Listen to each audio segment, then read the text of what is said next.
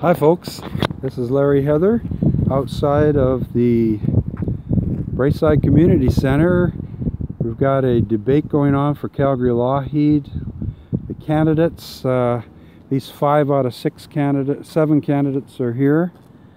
But I am the excluded candidate, so no Larry at this forum.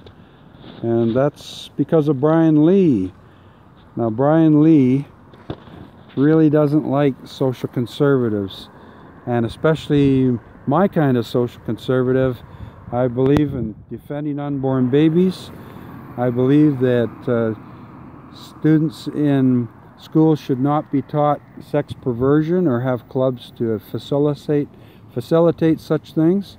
So that's kind of the reason why I've been excluded I guess. Bad behavior in past forms says uh, Mr. Lee although I, I did bring a Bible to the Calgary Greenway by-election, uh, he apparently uh, didn't groove too much on that.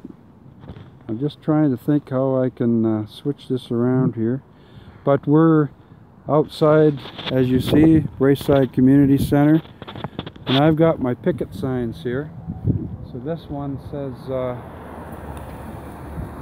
Evangelical Ministerial, Celebrity Influence peddling leads to apostasy and uh, guy being tempted off a cliff by a dollar sign held up. Then we got the other side here. So SEMA uh, bill 10 which is the sex perversion bill. SEMA bill 10 drinking deep the cup of God's judgment and a place pit, picture of somebody that's in hell uh, not looking too happy about their life choice. So we're just out here Braeside Community Center. Uh, I am the only candidate that's been specifically excluded from this debate. So um, kind of sad but uh, in, in, a way it's uh, typical of people who set up these debates. They really don't want to deal with the traditional values that we have. They want to keep them uh, excluded. They want to exclude people that believe in those things. And uh, that's it. I'll maybe come back to you in a little while here.